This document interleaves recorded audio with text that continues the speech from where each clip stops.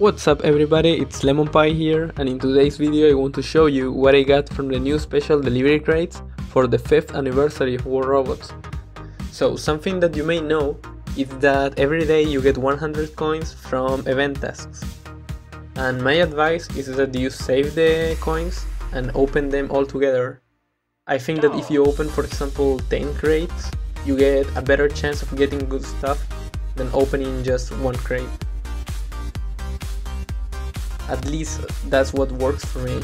Whenever i see like an event like this if you open like one crate just when you have it it gives you like a lot worse prices than when you save them and open them all together. Also something that i noticed is that it's giving a lot of Marquis weapons and i don't like this weapon. It's like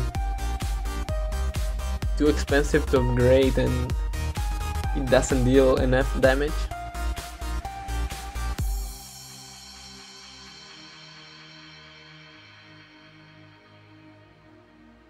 You see again Marquis.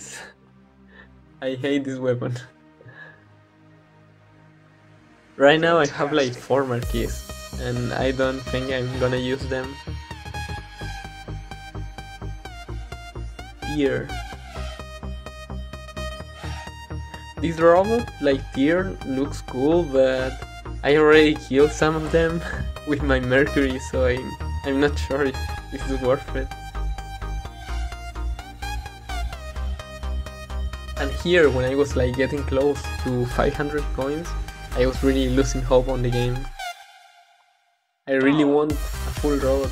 Please, Pixel, give me something good.